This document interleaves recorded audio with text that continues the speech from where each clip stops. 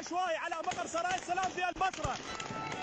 من بغداد إلى البصرة انتقلت حرب الميليشيات على السلطة والنفوذ وسط حديث عن قرب فرض حالة الطوارئ استنادا إلى معلومات أمنية تؤكد وجود مخططات لدى بعض الميليشيات لإثارة المزيد من الفوضى عقب هدنة هشة من المتوقع أن تنفجر مجددا كما حدث في مرات سابقة.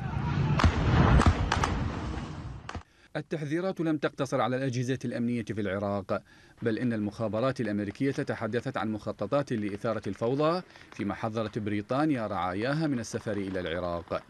التطورات الميدانية التي تشهدها البصرة تمثل بحسب مراقبين حلقة أخرى في سياق الصراع السياسي ورغبة لدى الزعامات الميليشياوية باستعراض قوتها باستخدام سلاح الدولة وهو ما حذرت منه رئيسة بعثة الأمم المتحدة في العراق جينين بلاسخارت أمام مجلس الأمن عندما قالت إنه بوسع أي زعيم سياسي جر البلاد إلى صراع دموي ممتد ومهلك. واضح الاستعراضات الاثنين اللي حصلت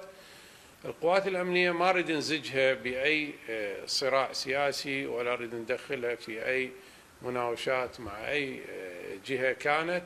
يحاول محافظ البصرة أسعد العيداني أن يبرر العجز عن ردع الميليشيات بعدم الرغبة بزج القوات الأمنية في صراع سياسي على الرغم من اعترافه بأن ما يجري ترك أثرا لدى المواطن الذي يمثل الضحية الأولى للصراع.